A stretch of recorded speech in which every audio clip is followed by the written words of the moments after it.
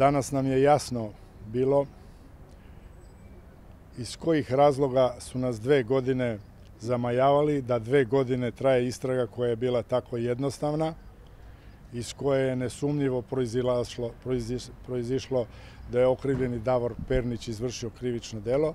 a to je predložena kazna gde je Maji Bađikić predložena kazna zatvora od 40 godina, a Perniću od 35 godina.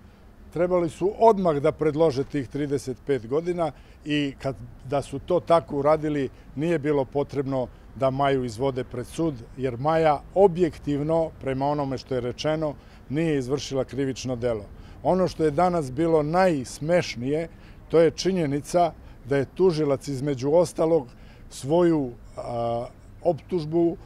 zasnovao i na tome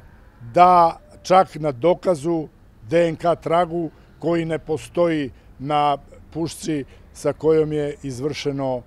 izvršeno ubistvo. Ono što je takođe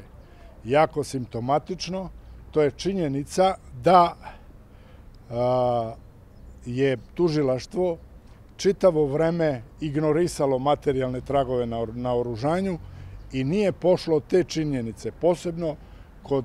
činjenice da na toj pušci postoje i drugi materijalni tragovi. Očekujemo oslobađajuću presudu.